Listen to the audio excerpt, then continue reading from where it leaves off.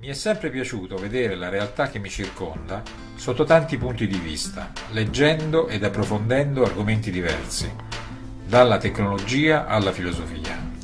Con il tempo ho capito l'importanza di maturare una visione globale della realtà, in quanto l'insieme è sempre molto di più delle singole parti che lo compongono. Ciò mi ha permesso un po' alla volta di imparare a navigare nella grande complessità che ci circonda, individuando possibili tracce di cambiamento. Alcune di queste tracce si trovano in mezzo al mare di informazioni presenti in ogni organizzazione. Il punto è trovare la rotta giusta. Un'informazione non si trasforma mai in vera conoscenza sino a che non si collega ad altre informazioni.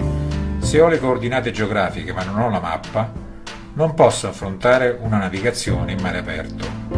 Poniamo ad esempio di avere un cassetto pieno di fotografie.